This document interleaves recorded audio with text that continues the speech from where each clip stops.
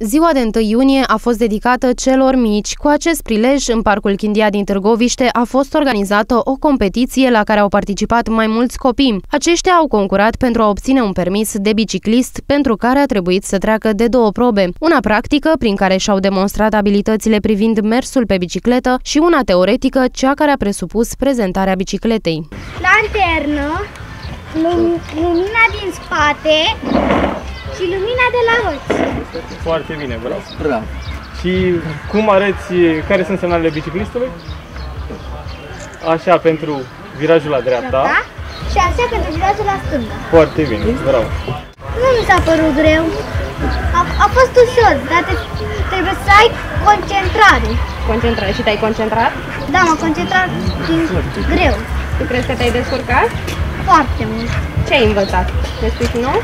Am învățat cum, s- cum să arăt virajele, să prezint o bicicletă și să merg pe jaloane, ca, ca să mă învăț să merg cu o bicicletă nouă. Și crezi că o să te descurci prin uh, trafic? O să mă descurc și prin trafic doar dacă sunt atent. Claxonul. Foarte bine, așa. Altceva? Unde? În spate, acolo, da? Foarte bine. Și pe roți? Ce mai ai? Ochi de pisică, da? Elementul reflectorizant galben. Foarte bine. Îți place să mergi pe bicicletă? Da. Ai învățat să semnalizezi? Da. Da. La ce folosești tu claxonul, spre exemplu? Dacă e cineva în fața mea, claxonez. Și, și lanterna?